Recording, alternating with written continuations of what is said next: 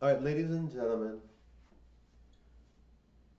totally enjoy the show, everyone.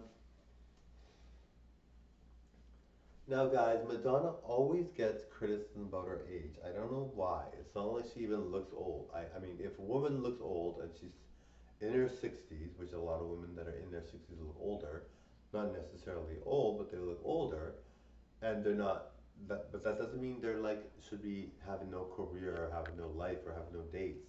I mean, Madonna is definitely someone that has exemplified that you can do anything at any age, and she's young. I don't think 60 is old at all. So I find it so odd when people say negative things about her because of her age. I mean, 60 is still young in my opinion. I think 70 is still young. I mean, maybe 80 is starting to get old, but really, even 80 is young. You know, I don't think that 80 is even old. So I really think that people are too hard on her and that it's, you know, look how good she looks. I mean, she's so gorgeous. Even still, I mean, she looks incredible. I think she's defied age or anything, any talk of her involving age should be dismissed completely because she literally has defied age and she makes, she makes age seem so trivial, darling. Totally enjoy the show by now.